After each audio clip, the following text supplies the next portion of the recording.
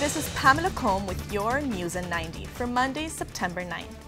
Jury selection begins today in the case of a woman who is accused of trespassing President Donald Trump's Mar-a-Lago resort in Palm Beach earlier this year. Yujing Zhang is facing charges for entering and remaining in a restricted building.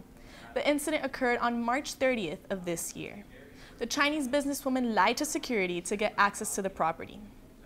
Officials say she was carrying multiple cell phones and credit cards. She was even found with a device that could detect hidden cameras. Her motive remains unclear, but there is speculation of spying. If convicted, she could face up to six years in prison.